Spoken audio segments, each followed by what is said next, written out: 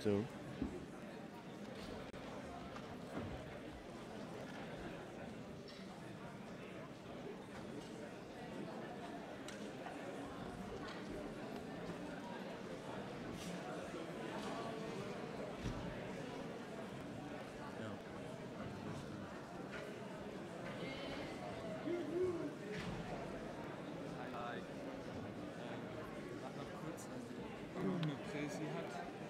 Läuft das mit dem Stick?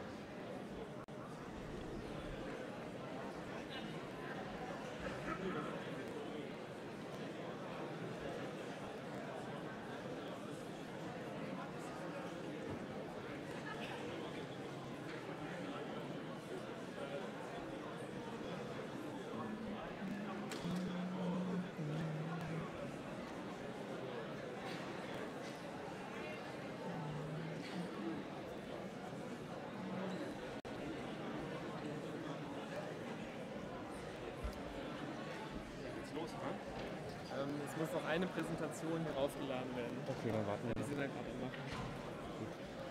Machst du die Moderation? so zwischen den Blöcken. Ja. Vielleicht wäre es cool, am Anfang nochmal zu sagen, dass die Annahmestelle für die ähm, Dolmetschdinger Ja. und die Garderobe Ja. um 14.30 Uhr schließen. Das haben wir am Ende noch bei Orga Okay. ansagen, auf jeden Fall mit drauf. 14.30 erst 14 Uhr war mir gesagt. Aber gut, vielleicht sagt man den Leuten auch nur frühere Zeit. Ich glaube 14.30 Uhr war, damit es dann 15 Uhr Ja, klappt. okay, gut. Aber von mir aus 14 Uhr, das kann ja nicht schaden. Passt alles. Ja.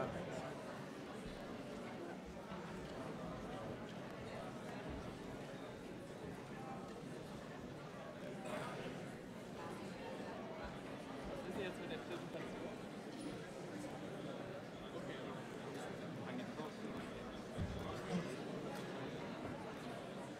Von hier aus, war? Okay. Guten Morgen. Willst du hören? Eins, zwei, eins, zwei. Nee.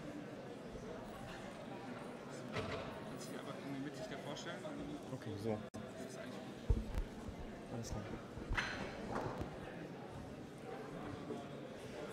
Guten Morgen zusammen. Gut Good morning, everyone. Good morning also to Auditory s- 6 and the other one that's listening. Thanks for getting up so early to in order to come to this panel today.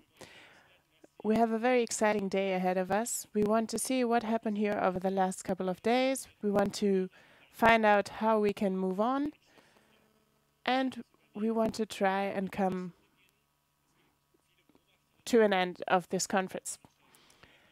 There were many observers attending the different events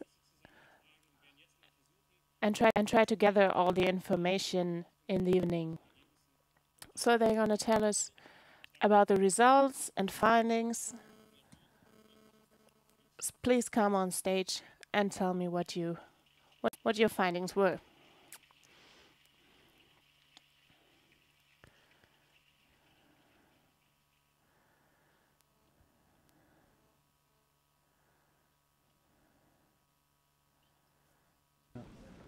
Ihr, welche Präsi das war? Äh, Internet.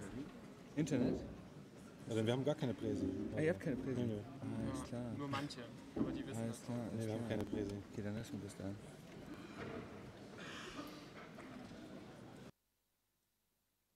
Good morning everybody, bonjour. Guten Morgen, good morning, bonjour. Buongiorno.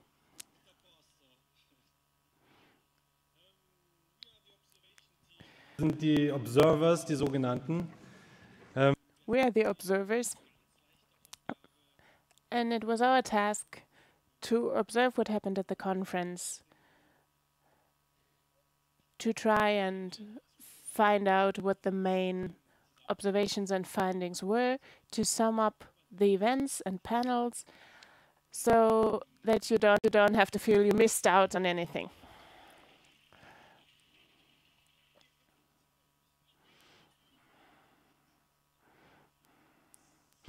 We met every evening from 7 till 8 for one hour. And in this hour, we talked about what we experienced. And then we did not have the time to reflect on it. We're sorry. Und es war auch relativ viel. Also. It was quite a lot. Okay, so maybe I'll stay with German. It was quite a lot which you probably noticed, but I think we did a good job. And we have tried to sum up the whole conference in one paper. So this is the conference.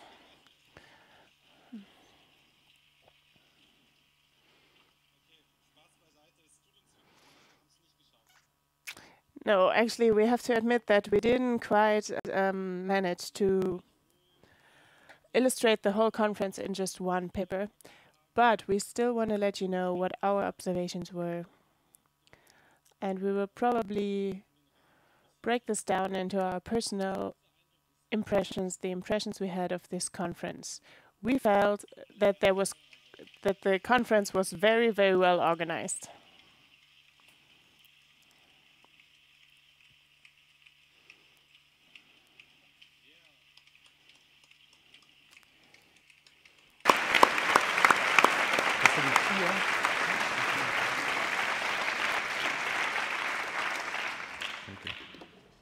Ähm, da muss ich wahrscheinlich gar I probably won't have to add a lot to this because you all saw it yours for yourselves. This seems like a small island, but it's an island that's getting bigger. Bigger and bigger. And we try to consider this as a kind of space between the outside world, the reality, center ground, whatever you want to call it, and our small world, the common ground, those who fight for a different world and try to build it. Between this reality outside and our common ground, there are many paths linking the two. Sometimes people are pushed out of this reality outside, pushed to joining us inside. Sometimes they are forced, sometimes they just realize for themselves that the outside world is not as it should be. They try and find explanation for what explanations for what happens outside, not just at an emotional level, but also at an activism level, at a scientific level, and the impression we had was that this really made the success of this movement. That this is the reason why there is so much positive energy in this room. We try to come up with different metaphors, like this one, saying that there's a kind of cognitive dissonance outside, whereas here on the inside, we felt like we were, it was more holistic. We were complete. We could be ourselves. I attended this conference as a scientist. I also um, took part as an artist. I'm also an activist, so I can approach this, this topic from from different aspects. And I think everybody finds their own approach to this topic, whether it's through art or gardening or science. And this is what makes this whole conference so very exciting. Nevertheless, there were also some stumbling blocks on the way into on the way to a, a degrowth society. One question was, for example, why are there so many men talking and attending? Where is the feminist perspective?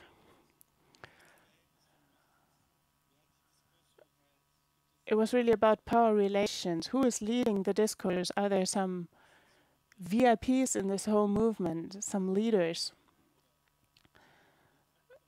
This for us seemed to be the stumbling blocks. Who is actually attending this conference? Who can take part? We are relatively white middle class here at this conference. Maybe 80% from Germany, but also a lot of people from other countries, other contexts. But we felt that still there could have been a greater mix. Anything you have to add on this? Okay, so much for the general part. We would now like to share a few personal impressions with you.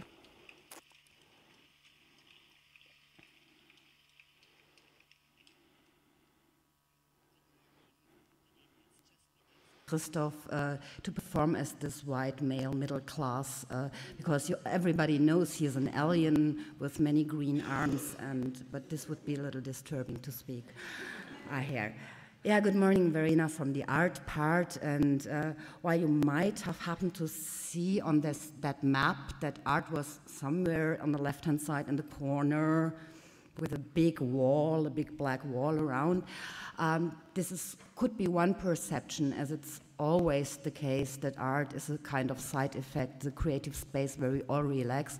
I was, as an art observer, I was very, very happy to find uh, art everywhere.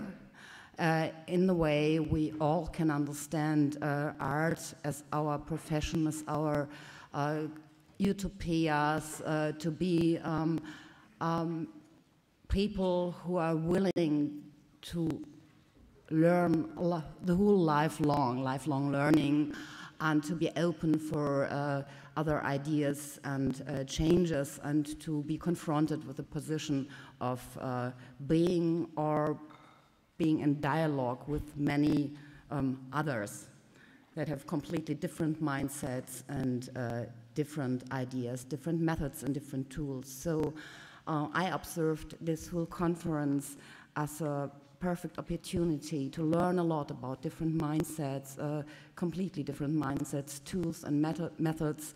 So um, I think uh, the biggest observation is thank you to everybody, uh, that everybody came here with this um, open, open mindset. Thank you.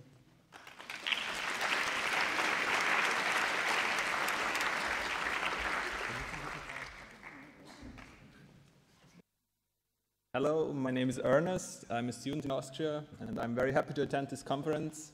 I study ecological economics, and actually I would like to start my impression by a metaphor. I really like to walk through the yard and through the positive energy of the yard. And when I, when I arrived, there is hanging this grass ball somewhere up there, and somebody started to explain, me to explain to me that it's actually a demolition ball.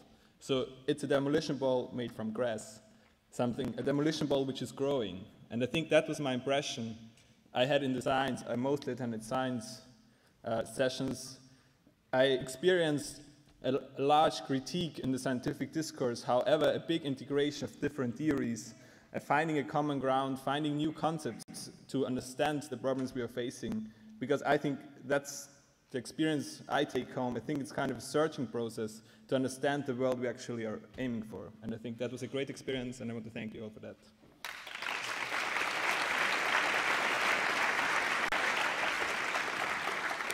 So um, I came to this conference with, I think, the very typical misgivings and skepticisms of a traditional leftist activist regarding the degrowth discourse. Exactly. How, how uh, I usually produce that reaction. How, how, how political is, is, is the movement? How, what are its forms of collective practices? Is it, in fact, a movement? And I came in with this agenda of trying to get everybody to participate in direct actions that we're going to take at the climate camp next year in Western Germany. And that was my strategy. But I realized that there are other kinds of paths to degrowth that people were following here because I ended up sort of being in some workshops which weren't traditional panel formats where some people, some kind of cadre activists would share their strategy and say, please all join us. I think the workshops that were the most powerful were in fact the ones where everybody got to speak and participate and share their experience and, and com communalize, like collectivize their, their, their, their, their emotions and their psychological experience of what it means to know that we'll soon be living in a degrowth society, either by design or by disaster. And it made me think of the consciousness raising circles of the feminist movement of the 1960s, because, to come back to the beginning, What is so political about this conference is precisely the collectivization of our experience of knowing that the shit is going to have to end and maybe it'll turn more shit, it'll get better. But if we don't collectivize our experience or our language, then there will not be a degrowth movement. And that was so political about the conference. Thank you very much.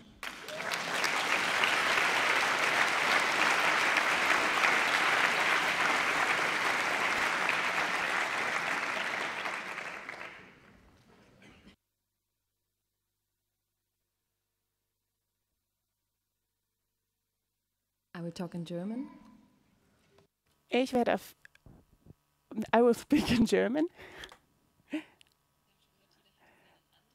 So, as you probably heard, everybody had their own approach, their, their personal approach, how to attend this conference. I wrote a kind of ethnographic diary because I was really fascinated by this aspect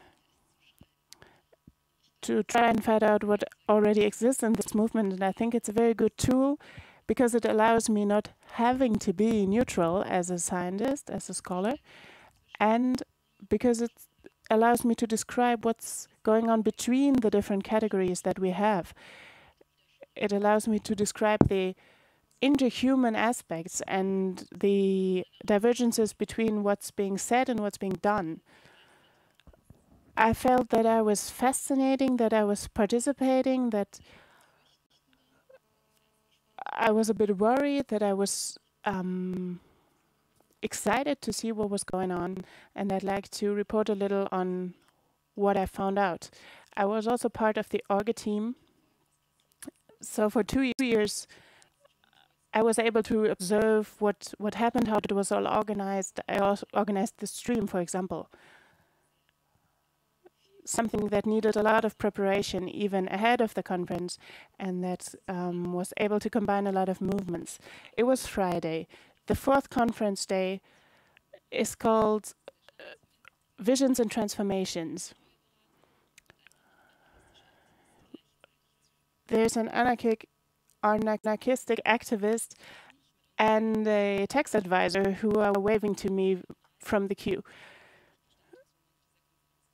there are many controversies in this conference. The Augusteum seems gigantic to me. So this is a kind of ecle eclectic cabin booth between Star Wars and reality. The new interpretation of the Paulina Church was done by an architect, architect who had just before that created an artificial island for the Olympic Games in Sochi. This reminds me uh, this reminds me of many things. In the highest floor of the university power is not where you would find um, social sciences, but it's it's the people from mathematics science. It surprises me to see that even small details are very much regulated at this conference. It seems to me like we are trying to to, to bypass the truck by cycling. But at the moment, we're still right behind the truck and we cannot see ahead of it. We don't know what's coming towards us. The group of people is very present in my mind. They are doing speed dating for scientists.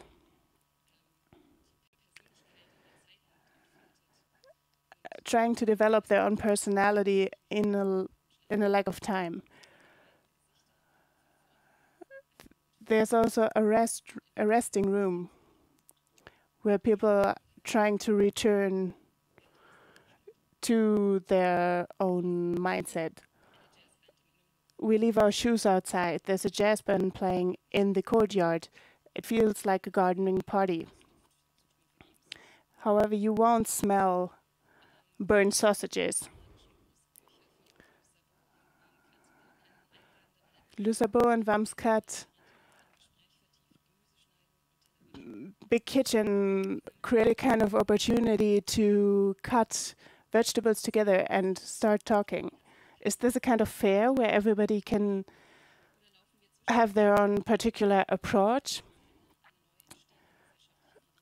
Or are we are we seeing a new social idea being created? Suddenly I'm in a room for 40, but there's 80 people in there. There's tensions in the room. The speaker seems to be talking to the audience when talking about her research about um, multinational companies. You die when you don't. You don't die if you don't grow.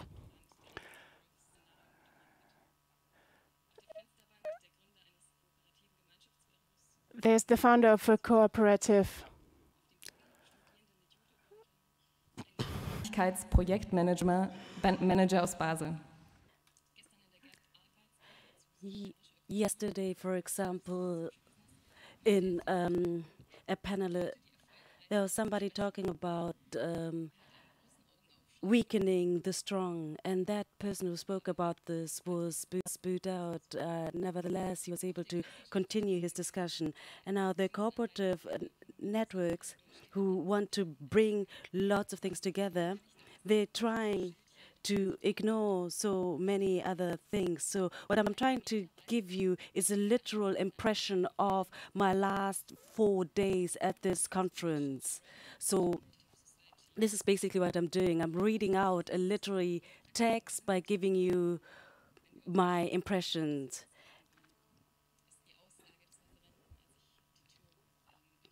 So I went to various uh, events and uh, what I see here is uh, a lot of things happening, and I like that very much.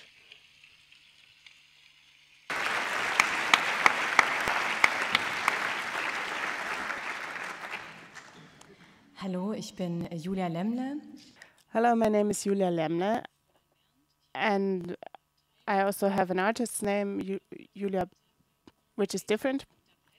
I will also attend the waiting room this afternoon as a performance artist, but also as an observer. To me, the conference started with a wonderful workshop that was called Performing Change Together. And it lay kind of the groundwork for what I perceive as something artistic and an emotional level, which I think is very important for this topic and for this conference. Because if we don't feel strong ourselves, if we don't find the energy ourselves, then of course we can't energize others. But at the same time, I felt that there was still a kind of separation arts on the one hand and theory on the other hand, on the other side this is interesting to see because actually it's about linking the two, and I hope that one day we won't have to name them as separate as separate entities. I also participated in the workshop audio work by Friendly Fire, and I think it was a great experience to be allowed to be outside, to move, to just open up, not to look for solutions too much, not to argue too much, as it often happens in academic circles. And then there was a moment when two performers, two female performers, kind of moved along the street in a very slow manner, and um, I just joined them with my bag and my coffee, and I think that was a great kind of performance. And I think the metaphor here was somebody preparing the way somebody exposing themselves and saying, okay, I'm going to go first and you can follow me, then this is a great experience. What I hope for is that at the next degrowth conference, and especially in the field of arts, there'll be more feminist topic, explicitly feminist topic. That it that it will be impossible to have a panel on arts with just male attendance, was just male participants. I hope that this will change in the future. I was also wondering why the refugee struggle that takes place in Berlin was not at all being discussed here.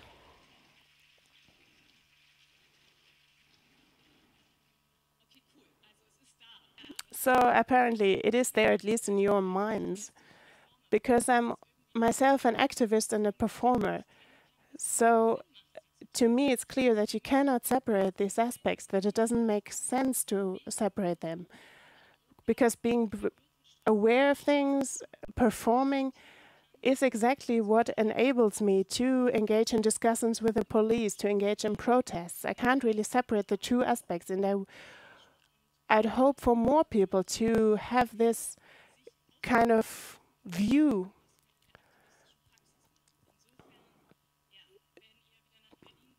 So I'd like to invite you, if you come to Berlin again, when you come, please try and be, try and live up, live the principle of solidarity. I'll try to do it myself as well.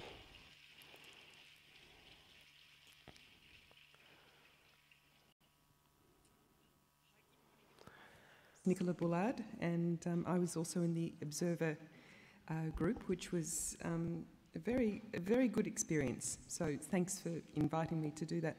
Um, I, I, I, haven't really been able to come up with a very sort of um, uh, compelling metaphor or analysis or poetic description, but somehow I keep coming back to um, Mrs. Um, Butler. And you don't know who Mrs. Butler is. Mrs. Butler is my Form 3 biology teacher. And when in and you can do the, do the maths, right? I was in Form 3 in 1972 when, um, when Limits to Growth was published. And Mrs. Butler gave that to us as our textbook to read in, in Form 3. So I, I credit Mrs. Butler with my, my sort of beginning of my process of politicisation. So Thank you, Mrs. Butler. Um, but uh, and I, I guess I had a little bit of that, that sort of mood, that sense here that it's sort of it's one of those watershed moments, right, where you sort of people gather from different places. There's sort of new ways of seeing things, new ways of thinking about things, and hopefully for for many of you, and I hope all of you, it's either the beginning of a lifelong engagement, or at least for those of us who are already very engaged, it gives us new perspectives, new visions, new ways of thinking about things.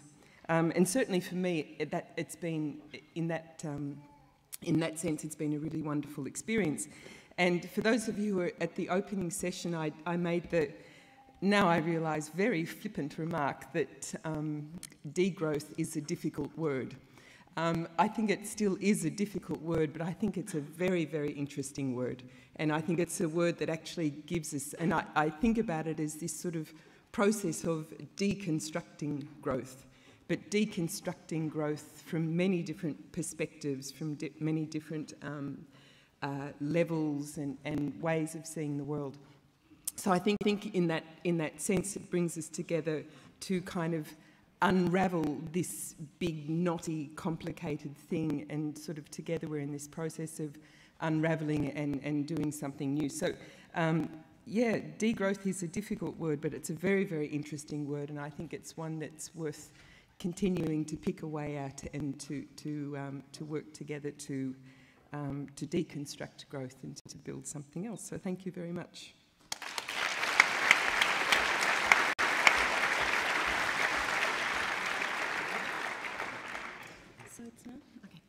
Um, as participants to this conference, we uh, actually wanted to ask you as well, what is, what is your, what are you taking out of this conference and uh, what, is, what are your observations about the conference, uh, your reflections? So we would actually ask you to, to talk into groups, to discuss a little bit into, in groups uh, about this question. What is the metaphor that could de depict degrowth according to you? Um, is degrowth a social movement for you? Uh, what is degrowth against, and what are the power relationships that degrowth has to, to face. And finally, uh, what are you going to take out of this conference? So if you can just discuss this in uh, um, five minutes, and I don't know whether... or anything you want. I mean, you don't have to discuss all these questions. Maybe it's a little too much. Um, I don't know, actually, maybe we're going to be able to visualize the pad as well. Let's see if it works.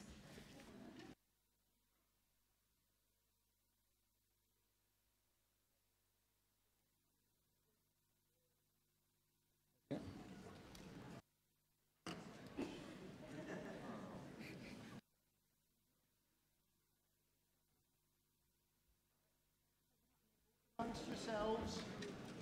Yeah. Well, you can start now, and then maybe we will. Yeah, it's there. So if you have a laptop or a smartphone, you can actually type in your answer to these questions, or if you prefer, you can just talk to your neighbor.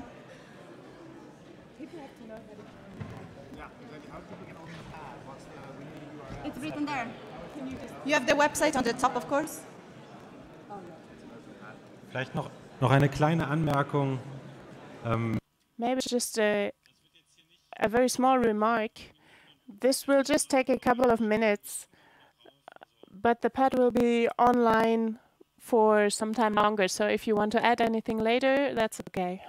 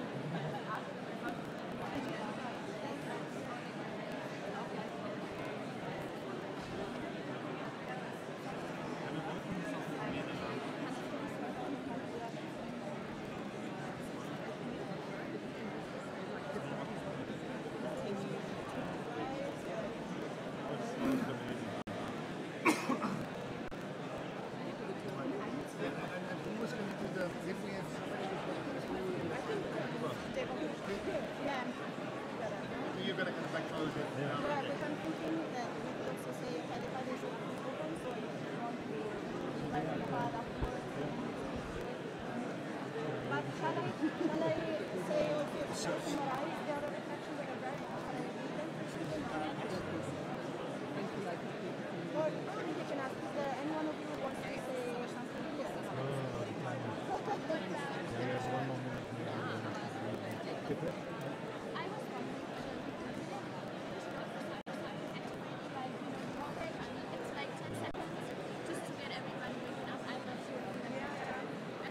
willing to do it? I'm willing to do it with you first, but I'd love him to, you know, put the ages, but I don't know, for example, and then maybe he could do the English and he could do the rocket. I don't know it. yeah, but I could explain it to him, then we could do this as a team too, and I don't know how that's So, to put it together.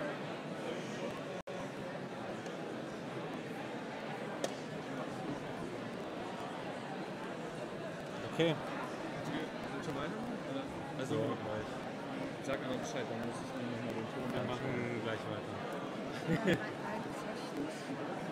So after saying, okay, that the pad is continue to be open, uh, shall we just say thank you very much or And maybe you, s- you say the thing with the pad and then I close, also open it Yeah, and reclose yeah. it and then move on. Yeah, okay.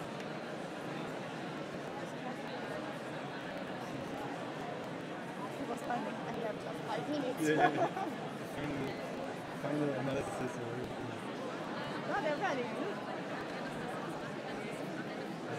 So maybe, maybe people are hardly, hardly seeing what's being scrolling down below.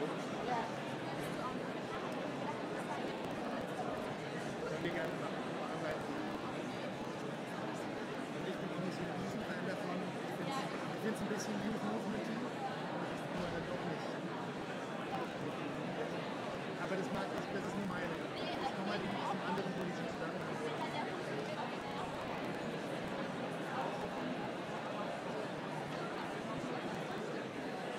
Shall we close it? Okay. Oh, they have a lot to talk.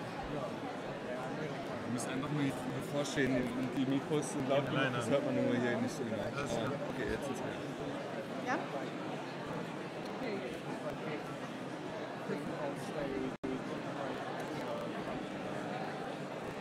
Very nice. Yeah. Um, okay. I see you have a lot to talk about, which is good.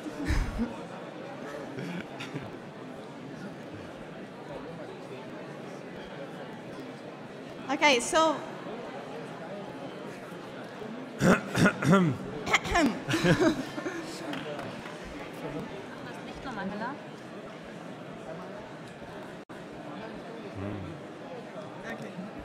Thank you very much for the discussion. The pad is actually continue to be open, so uh, if you want to, you, you can continue actually to write on the pad later on after the conference, so you can continue to reflect actually on the conference and write on the pad later on.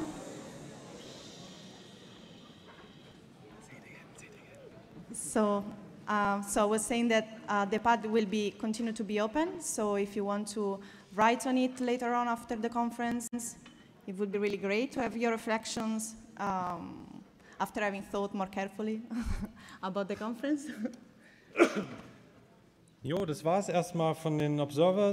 So I think this was all the observers wanted to say. Thanks very much for the attention and for your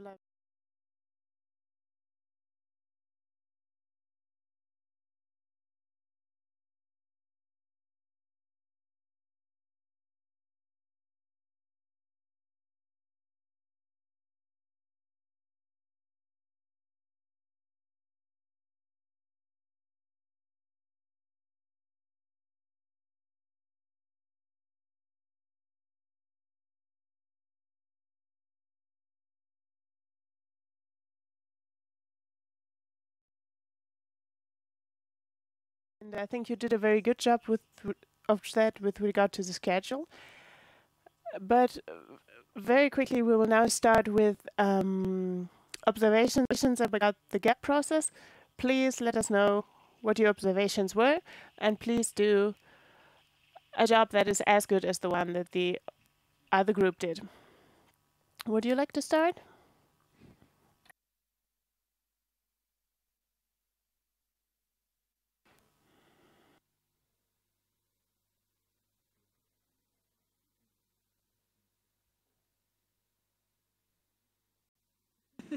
So, hello everyone. Um, it's great to Hello. see here um, um, this great audience. Uh, I am Walter, she's Suzanne. We are two of the um, four main organizers of the GAP plus um, uh, several helpers that we had. Um, and um, the group assembly process uh, that we shorten as GAP is a process that has been uh, started, um, well, it's actually in the origins of these international degrowth conferences. It is from a group assembly process in Gaillac um, in, uh, um, in France in 2007, if I'm not mistaken, that the idea, uh, at least partially for this international conference emerged. And after this, uh, um, the Paris conference was organized in 2008. In 2010, we had a um, conference in Barcelona, 2012 in Venice. Um, the gap was retaken again in Barcelona with uh, uh, also very interesting outcomes from uh, working groups. And we thought we need a continuation of this process. And because the gap, gap is focused precisely on what Tatio mentioned, this bringing um, our ideas together on different topics, but not being focused on the specific areas, but crossing between them and allowing for contamination of ideas and allow, allowing for this collectivization between different uh, levels of knowledge and expertise from the research to the practice. So the gap is precisely sought as this convergence point uh, where we have a very intensive outcome-oriented process to um, reach a kind of collective consensus, but also this descent to also map what are our controversies, because this is what helps us to move forward. And uh, I would, um, we of course had here with this 3,000 people conference a major challenge in trying to organize a process like the GAP, which is a very a, a process that uh, requires that we go from working groups to assemblies and back to working groups where uh, the things are really uh, deepened, the topics are deepened, and then to the assemblies where they are uh, presented to the others and receive some kind of legitimation. So Susanna uh, is going to um, present what, our, uh, what were our general objectives for this particular gap um, and how we try to address uh, this challenge. So. Mm -hmm. Yeah, so the, the goal of the GAP, GAP was, as Gualter already said, to create an intensive exchange between scientists, activists, artists, and practitioners, so the four groups of people and actors who um, that were invited to participate in this conference and to gather in groups of, of no more than 20 people. We had a registration beforehand also for this um, we would work on the three days in a row. They come together every day and have a, and therefore have a, have a longer group group phase where, where, you can go more into depth than it's usually possible in a workshop or in a, in a short session. Um, as Walter also pointed out, it's, it's a very output-oriented um, process, so the groups have been under a lot of time pressure and, and it was also stressful for, for many groups, um, as we heard from the feed feedback. Um, on the other side, um, many groups felt that it, it can also be help to be to be productive in this in this uh, process and to really concentrate on finding on what can the group uh, agree here and what has to be further discussed and to to give a first proposal of what we can um, yeah, what we can agree on as, as a movement. Of course, we don't want to, we don't, un don't understand these proposals as consensual for the whole movement or for the whole conference. It was still only a small group, um, but we think it gives a first draft, and as Gualter will explain later, on the community platform, there's also the possibility to discuss this further and to include more people into this process also. And another um, goal was to list open research questions that come up within the discussion as well as ideas for actions that might emerge um, within this group of, um, of experts or people already, already deep in, in, in the topic. so these were the working groups. Okay. Um, these were the working groups in, in Leipzig. There were 19 working groups. They um, all based on steering papers that we called for in springtime, I think. So not all the groups will present their results today, or not, not all the groups felt ready to present, but most of them will. And we'll have a short presentation of a maximum one minute. So you will get a little feeling of how these assemblies took place. We won't have the possibility to comment today, uh, unfortunately, but you can, you're very welcome to comment later yeah. online. This will be the, it's, that, it's like of the degrowth elevator pitch, no? We have, and the groups have to convince you to come and contribute further in the, into the process mm. later on. Yeah. So I would like the presenters of the working groups to come up here.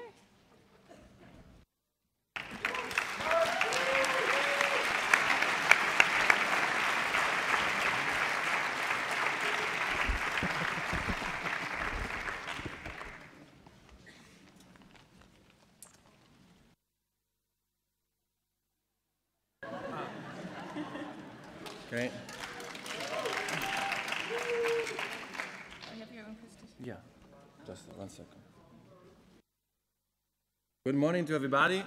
So our group worked on an action plan based on the results of Barcelona conference.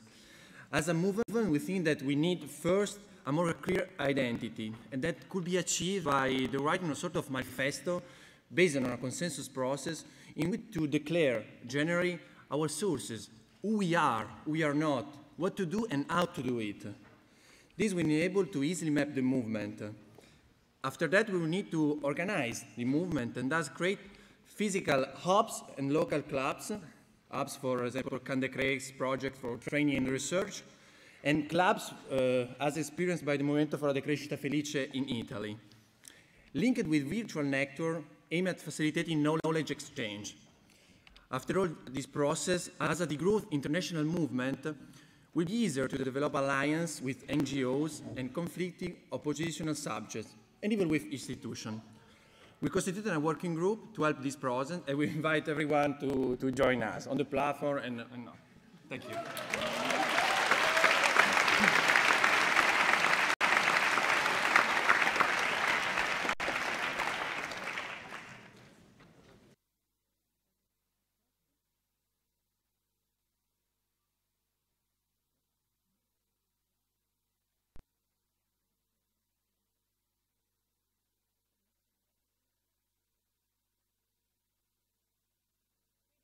Into we divided into three smaller working groups. One talked about what mean does degrowth mean for the food and agriculture system. Um, I present shortly the results. Um, degrow showed land grabbing, free trade and globalization, consumption of meat, uh, GMOs, energy and footprint, and but grow because agriculture is also about growing should um, more, yeah, food, we need more, more food um, and less waste, soil fertility, uh, resilience, diversity, self-sufficiency, access to land, water, and seed, equality and participation. And we talk about our visions and alternatives. Our biggest uh, vision can be summarized at, as food sovereignty. And, and the ways for the transition, we talked on local, um, national, EU, global, and society level. That's our, our proposals.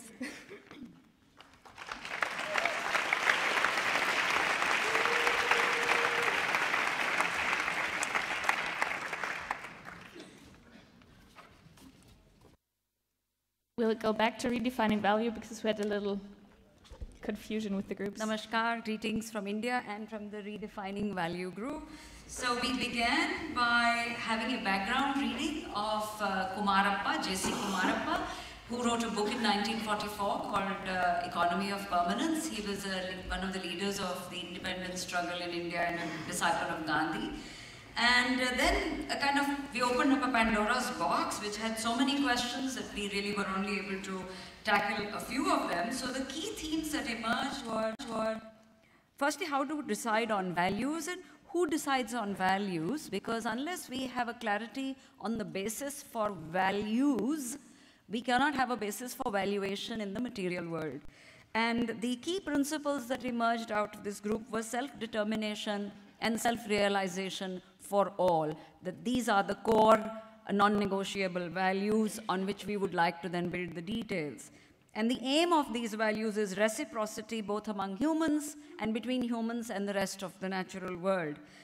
Um, and then the next question which was taken up was how can needs be distinguished from wants? So the primary needs were identified as, as subsistence, protection, affection, understanding, participation, leisure, creation, identity, all of it being embedded and leading towards freedom.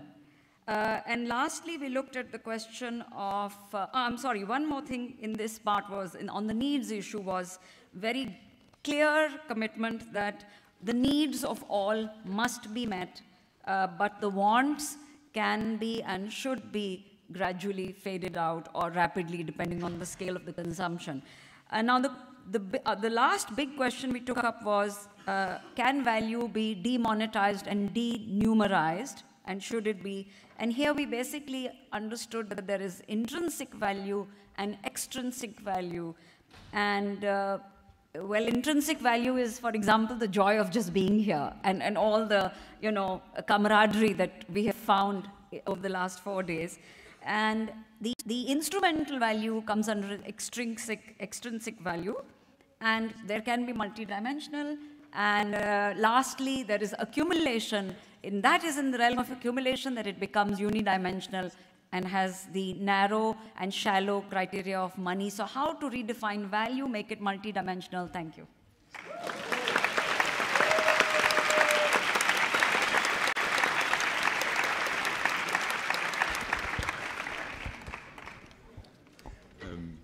Yeah, in the basic income and degrowth group, we decided that we want an unconditional basic income. Yeah, we, we identified uh, three things why we want this unconditional basic income, and we identified three or four things how we want this unconditional basic income. And I think the, um, the visions why we want it are more important, so I will just read them to you. And I think an unconditional basic income would improve social justice and decrease inequalities, which is a precondition for degrowth. Um, we also think that the UBI would provide free space for discussing and testing meaningful lifestyles in production and reappropriating autonomy and democracy. And we also think that the UBI would liberate people from social pressures and not having enough, so they could decrease compensatory consumption pressures and open the way to a needs-based economy. Thank you.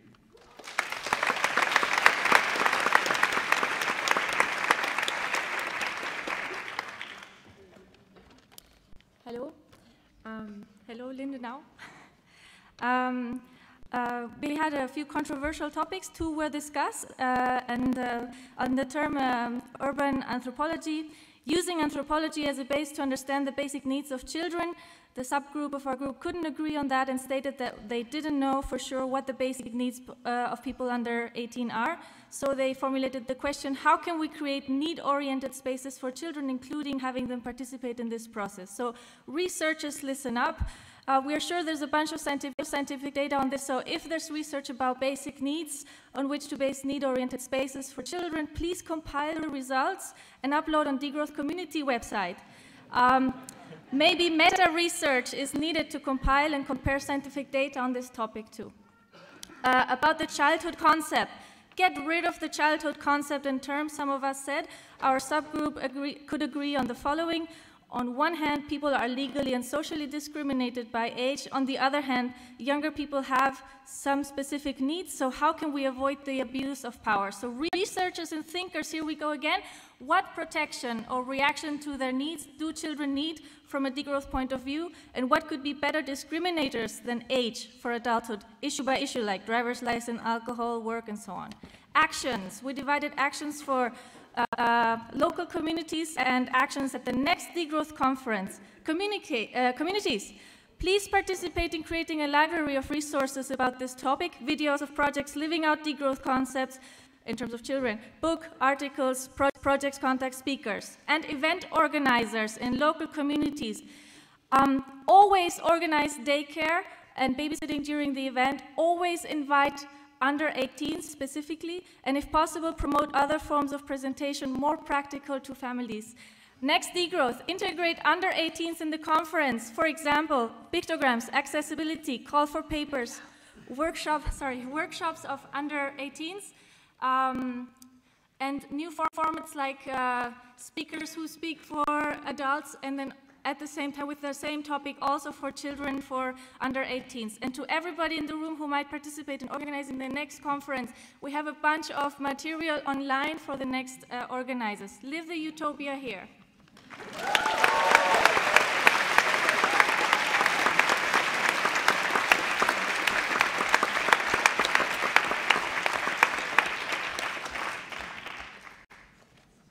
So um, uh, our group, our one consensual statement was that the commons should be an essential um, part of a degrowth society, and there was also a discussion about the uh, degrowth should be the path towards a commons-based society.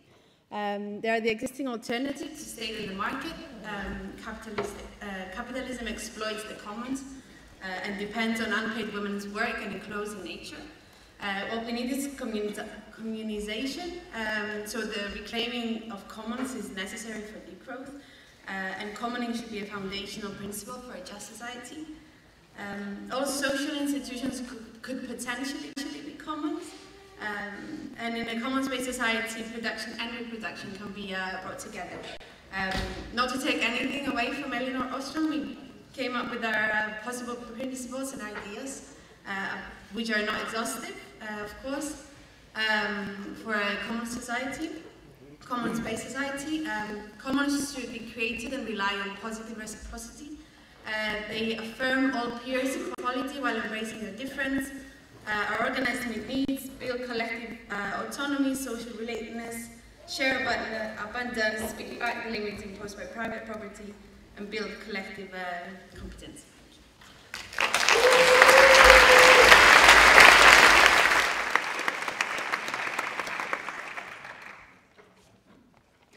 Well, good morning from the consumption group. We hope you had a good uh, cup of coffee this morning, because consumption is not only satisfaction of um, physical needs, but also psychological. So we identified four working groups to tackle these uh, questions, how and what to consume. Uh, we had one working group on rethinking consumption and drivers of consumption, the second one on standard and labels, the third one on education, and the fourth one on advertisement and marketing. Um, for the first working group, um, rethinking consumption and drivers of consumption, we think uh, we first defined that consumption is not just buying, that consumption in general should be a positive thing. And we also acknowledge that it's driven mainly by psychological needs, but also by, by physical ones, such as um, status and, so, and social recognition. So our proposals are that we find alternative fulfillments to um, satisfy these psychological drivers of consumption, so not just to reduce consum consumption itself, and also to create time and space to build communities for inclusion. We have a research question, um, how to make um, long-lasting and high-quality products the new normal for the consumption.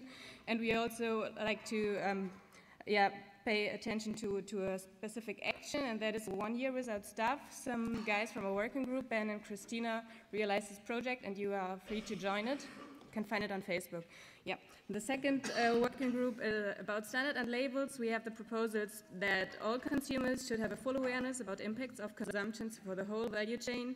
And we like to have a reformation of the standardization process to, to involve affected uh, stakeholders in the production countries.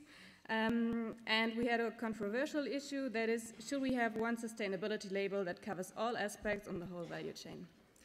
So just to briefly add, in the realm of education, we would uh, wish more teachers like Ms. Butler. So we um, suppose mainstreaming of critical thinking across all school subjects, especially on consumption habits, social practices, social status, and advertisement. So uh, also to establish space for children to discover anew how to do and make things to gain from fulfillment from this.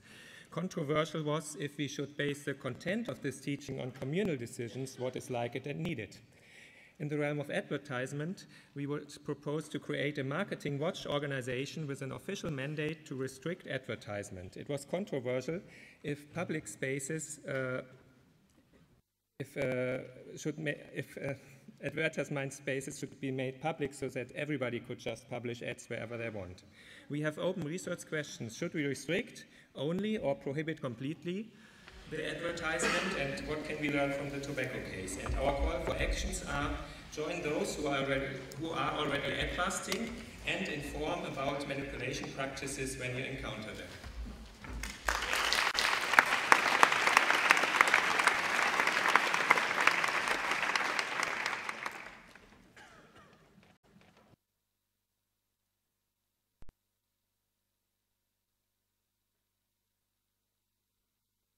Necessary shifts will only be democratic, but it needs to be an alternative to the representative democratic system we experience today. The system should be a combination of direct democracy and delegated democracy that has a binding mandate. Our working definitions for these include first, Direct democracies are the fundamental building blocks. Second, delegated democracy is accountable to smallest units. Third, direct democracy needs some self uh, needs some fundamental norms or institu institutional safeguards. Fourth, direct democracy is a deliberative learning process and one which results in consensus. And fifth, Fifth, there is a need to connect degrowth to, to direct demo democratic structures that are emerging. Thanks.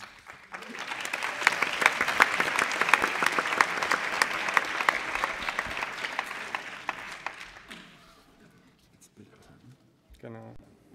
Das Bild aus? Mhm.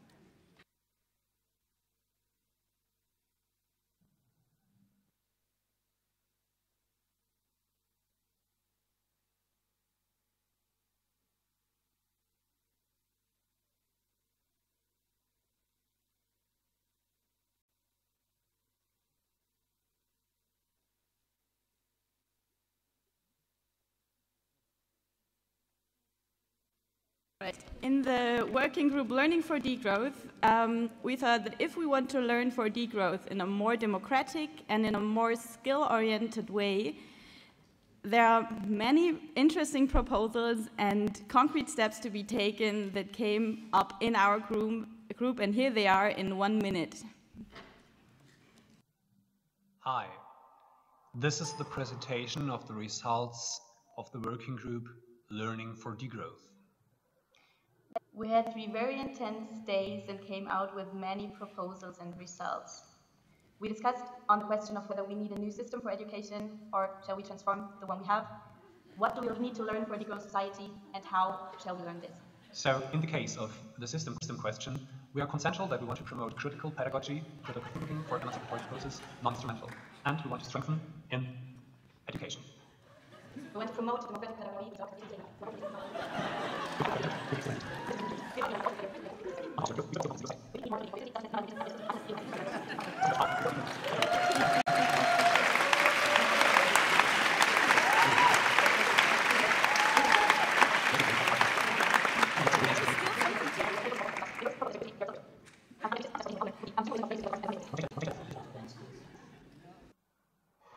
have more role models. And we want to include open source learning processes, for example, poster parents for schools. So these were the results of the working group. we hope you enjoyed it. And we learned a lot.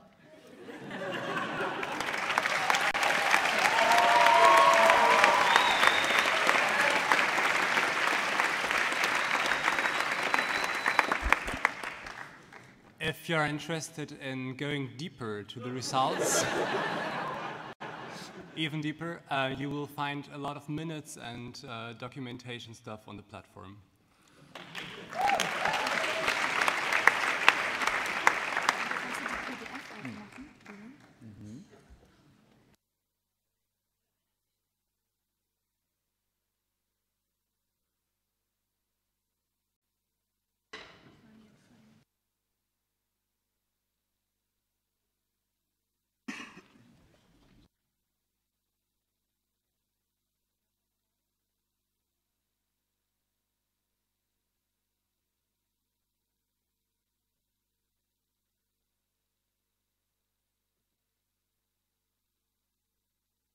So, um,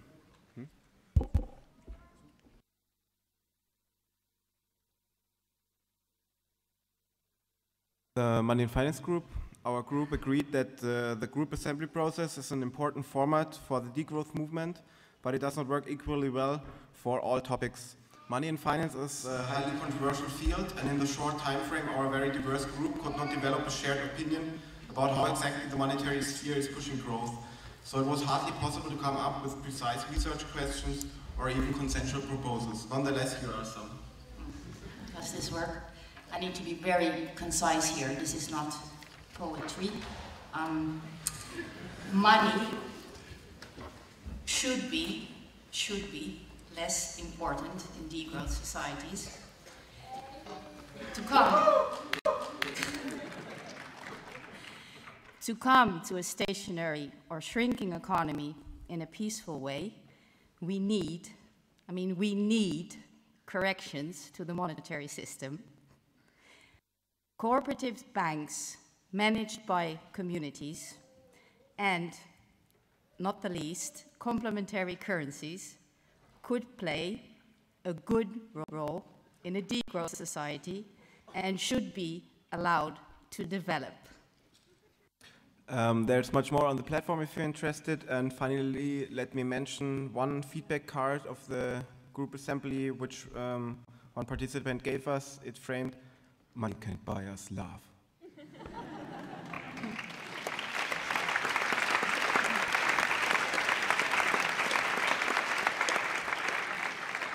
we already did. Sorry for the mistake.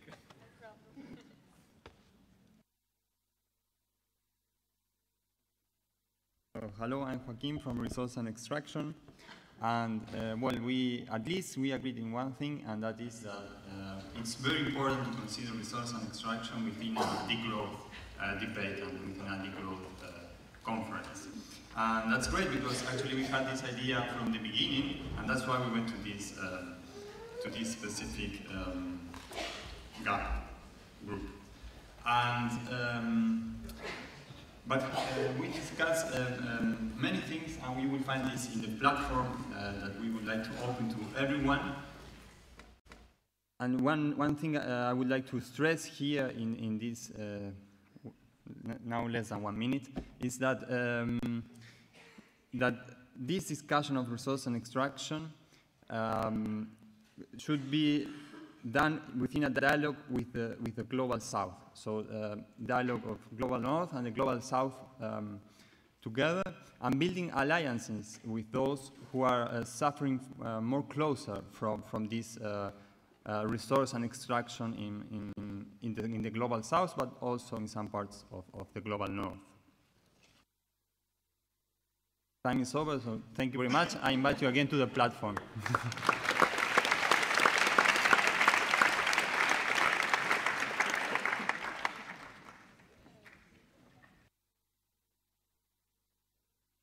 Uh, good morning. So after three days of very intense, enriching and inspiring discussions, uh, we got to the following consensus. So first, we have to get rid of large-scale for-profit organizations. And second, second, about the strategy.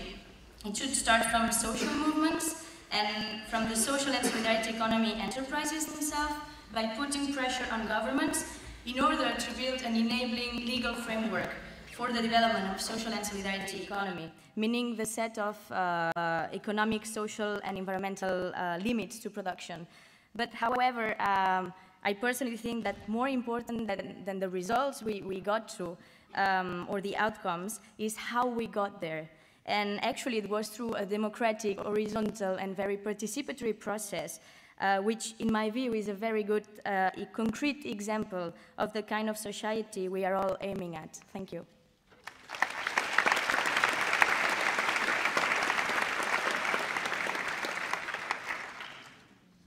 Yes.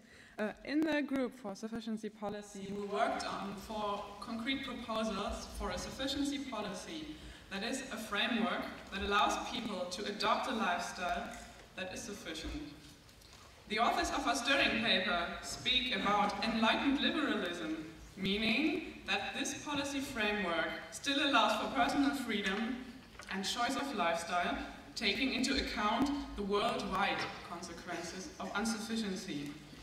We divided up in three groups. Uh, the first one worked on concrete proposals for political instruments like speed limits or a 30-hour working week. The second one thought about the overall structure of such a system and suggested, for example, that those politics should focus on local governments and the reform of the tax system. And the last group thought about how we can actually communicate sufficiency to make it seem more attractive. Thank you.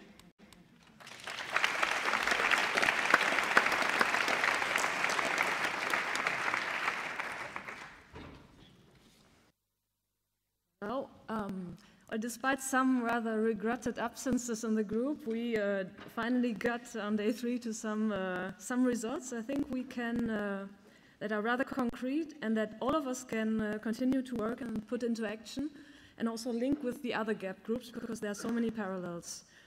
So we had two uh, main questions. Well, the bad news: the question about bad technologies didn't. Um, get us anywhere because I think the, the format of the gap is not appropriate for the question or vice versa.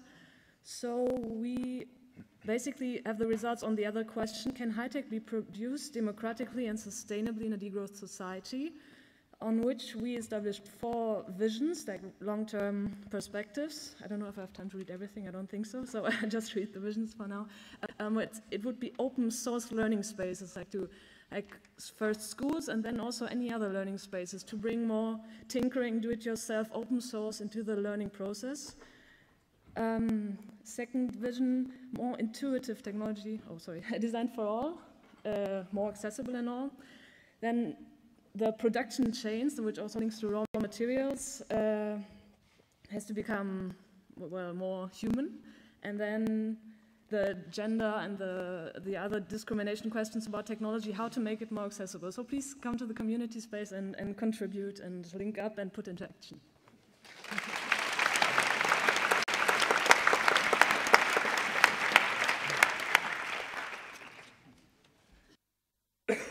Hello, good morning everyone. Uh, I'm presenting the results of the Transport Mobility Group and uh, what I can say in the beginning is it was difficult to uh, achieve consensus and I think the problem is that we all like to travel but I think in general what the group also supports is that we need uh, less space, like in the future we need to use less space for this traveling and less energy. Um, and then we had three subgroups discussing certain issues. So for example, one issue would be free public transport. Um, because this means that more people travel in less means of transport with less energy, but we also thought about uh, that it shouldn't be like that people start living in trains and buses because they drive around every day because it's free. So we, we need some measures um, that people don't do more trips because it's free. Then we had one group which uh, discussed the issue of behavioral change so that people realize they should change their uh, transport behavior. And there could be some measures like um, taxation, of course, taxa um, higher taxation of non-unsustainable forms of transport. And um, uh, then we had, uh, okay, I will finish with one very concrete example. Example, what we think is right. We need to make our streets, uh, again, livable spaces where people and kids can play and meet and not dangerous places like they are now. Thanks.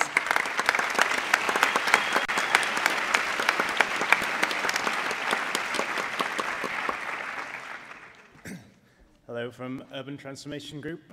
Uh, for our group, the GAP process was one that didn't quite work at the start. Our first two days were quite productive, but many people felt that it was too outcome focused, too, uh, yeah, too much efficiency based, and we weren't able to go into deep discussions in the first days. So was, we, we got a lot done, but it was kind of stressful to get there. so then on the third day, we kind of stepped back a bit. We lost about half our participants.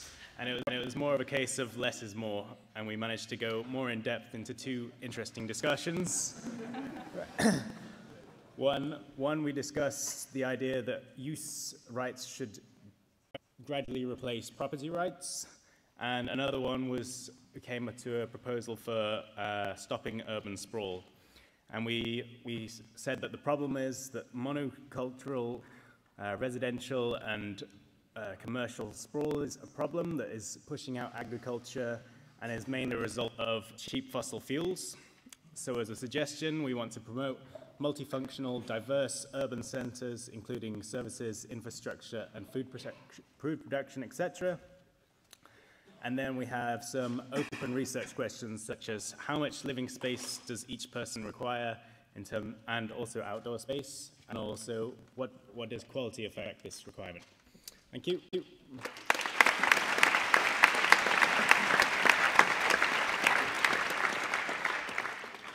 Yeah, hello, good morning everybody. Um, I present the results of the Social Security Working Group. We split it up into, four, uh, into three groups, which were discussing different questions.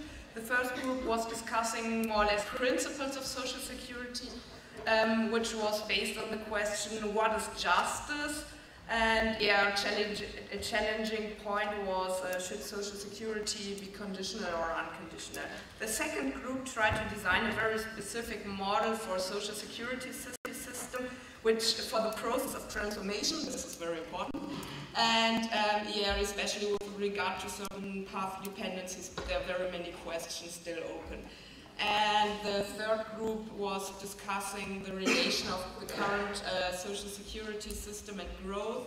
And they came to the conclusion that um, its growth dependency is more a matter of the political framing than it is a matter of growth by itself. And there are quite, uh, yeah, there are some drivers, uh, growth drivers in the current system. And yeah, if you're, at least some of the results will be uploaded uh, on the community platform if you're interested to look more at the details then yeah, feel free to do so. And yeah, if you have any suggestions on literature or any other kind of proposals, yeah, please just hand it in on the platform. Thanks.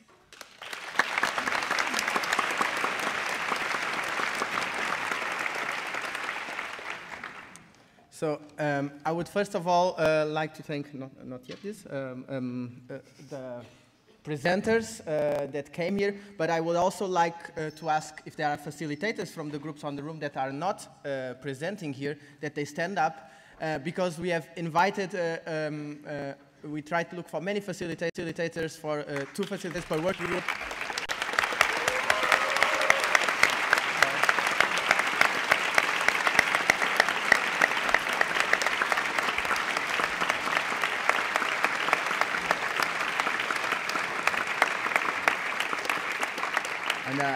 I think it was very courageous uh, to take on this uh, task uh, of this demanding uh, process and that they managed uh, till the end of these uh, three days to really achieve what I think are very interesting results of this um, collective process. So, um, as you have heard, there are, sorry, in the, in the plat in, in online platform, most of the groups have posted very detailed minutes some are really amazingly detailed to the level of detail that of uh, each word that was spoken.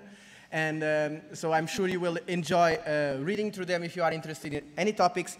And I bring you the invitation to ask participants in this conference that attended scientific lectures, workshops, cultural events, and you got all this input some of this input will certainly cross with the topics that have been appro approached by the groups, and as you heard, the groups want to continue working. And we want, we, we, we, we, we have thought of this process, process to have a continuity between this conference and the next one.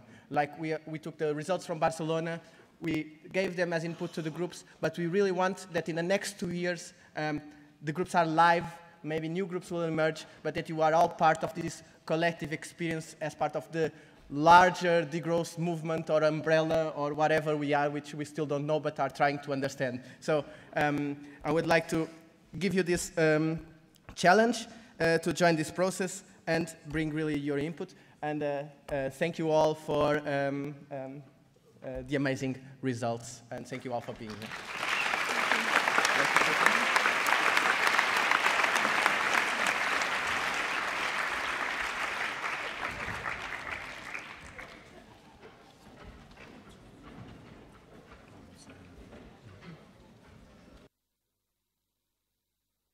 Ja, vielen Dank auch nochmal an euch. Okay, thank you very, very much. And uh, this is possibly very nice for those who didn't attend uh, the gap because the presenters uh, really, really uh, gave a really good impression here. And now, before we enter in a short break, there's a short report. And nobody knows when this was prepared. So the organizational team wants to give us also a short input. So, Jonas, the floor is yours.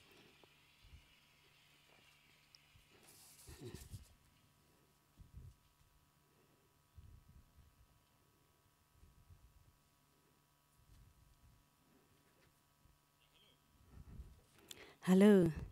My name is Jonas. Some of you know me from the info degrowth uh, mail um, communication because some of you we corresponded already, right? Now, the conference in figures, facts and figures. I was told that it's going to be uh, have to be fast, and I'll start with the relevant issues concerning the program. Well, there were over 400 single events, 8 keynotes, 20 panels, 91 scientific sessions, 200 workshops, over 30 cultural and artistic events, and 19 GAP working groups. So no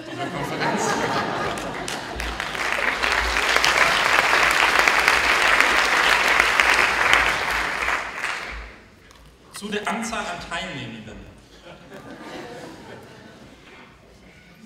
Ähm, wir hatten knapp 3000 Teilnehmende, offizielle Anmeldungen knapp 2800 in der Datenbank. Es kamen auf der Konferenz nochmal 200, 300 dazu. Davon 41,5% weiblich und 37,5% männlich. Die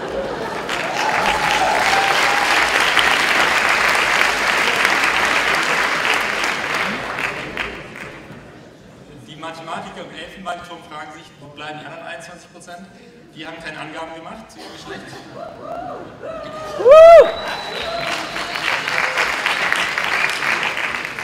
So, zu den Workshop- und Speakern, also den Referentinnen.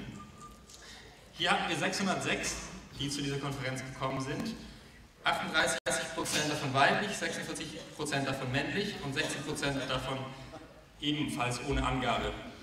Bei den Teilnehmenden konnten wir darauf keinen Einfluss ausüben. Bei den Referentinnen, das kam auch vorhin schon mal auf, war es tatsächlich ein Anliegen, hier eine Gender Balance ähm, herzustellen. Im Organisationsteam ist es uns noch ein bisschen besser gelungen. Hier ein Foto zum Organisationsteam. Zwei zumindest. Ähm, der Kern umfasst 70 Personen, von denen 55% weiblich sind und 45% männlich. Ebenfalls Wert haben wir darauf gelegt, dass das Koordinationsteam aus einer weiblichen Person, Nina, und einer männlichen Person, Daniel, besteht. Auch im Pressebereich haben wir eine Pressesprecherin und einen Pressesprecher. Nun zum internationalen Charakter der Konferenz. Vorhin wurde gemutmaßt, 80 Prozent seien Deutsch, 20 Prozent ähm, kämen aus dem Ausland. Das ist relativ gut getroffen. 19 Prozent der Teilnehmenden kommen aus dem Ausland. 42 Prozent der Referentinnen kommen aus dem Ausland. Und sage und schreibe 74 Nationalitäten sind hier vertreten.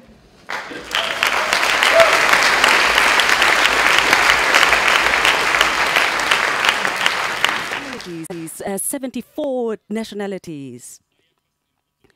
And somebody said it's almost one third of the world because if you consider that uh, the world has about 200 nationalities, then you can say that almost a third of them were represented at Degrowth. Now let's talk about food. I really hope that you enjoyed the food.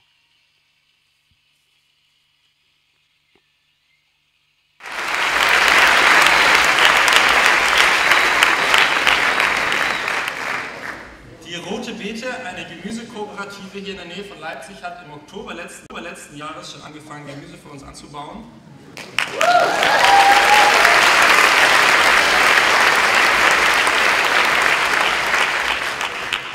Insgesamt sagen schreibe 1250 Kilogramm Gemüse. Das hat dazu geführt, dass wir täglich 2800 Mahlzeiten serviert bekommen haben. Und um der Mittagsschläfe zu entrinnen, hat dann die Grüne Minna uns 32 Kilogramm Kaffee gekocht. Dieses Bild soll die Privatüberkünfte verdeutlichen, die wir ambitionierterweise uns äh, relativ im Frühling schon auf die Fahne geschrieben haben. Wir wollen möglichst vielen Menschen die Möglichkeit geben, hier umsonst bei Leipziger und Leipzigerinnen unterzukommen. Das ist jetzt so, dass wir 350 Menschen die Möglichkeit bieten konnten und vor allen Dingen auch den Menschen, die diese Möglichkeit gegeben haben, sehr dankbar sind dafür, dass es ja, immerhin 350 Menschen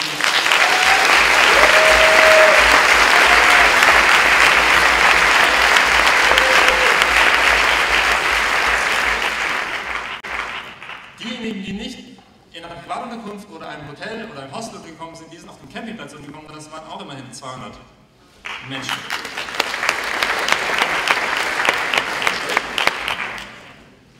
Nun, zum einen der wichtigsten Teil dieser Konferenz. Come to, the, come to the most important part of this conference, the helpers. We had 950 helpers who worked for about four hours at this conference, and that is quite impressive.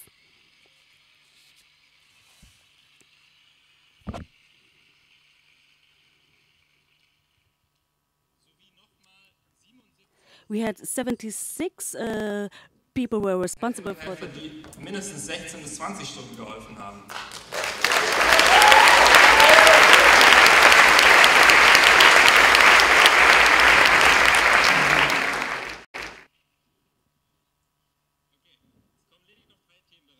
we will have we still have three uh, topics to go.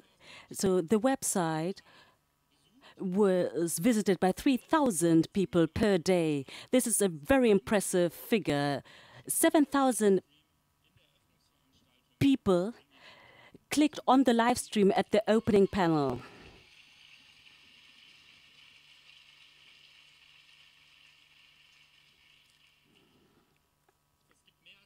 There are m- more than 1,000 people who are registered at, in the community platform.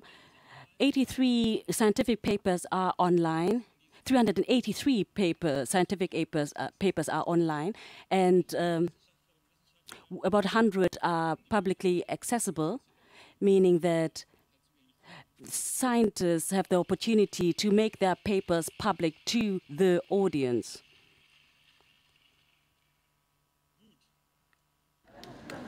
Ähm, das Budget.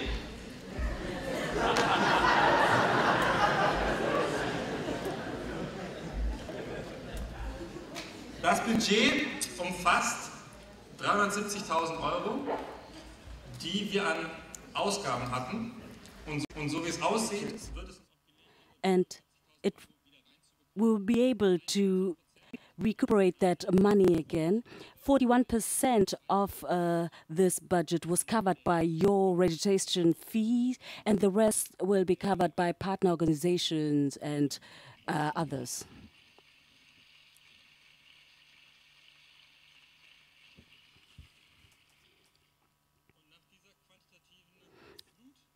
Yes, I've bombarded you with a lot of figures, but there are some things which we couldn't uh, put a figure on.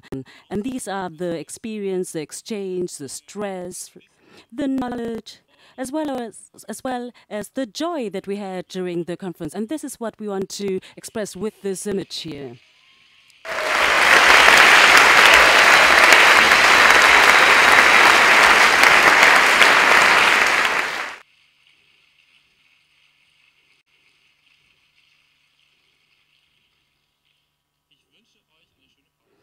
Well, let's all have a nice break now. Yes, there will be a break, but in, in case you no longer have your program, we will start after 30 minutes. So the break will be 30 minutes. We will then have our closing uh, session. So we'll start at half past. So be punctual.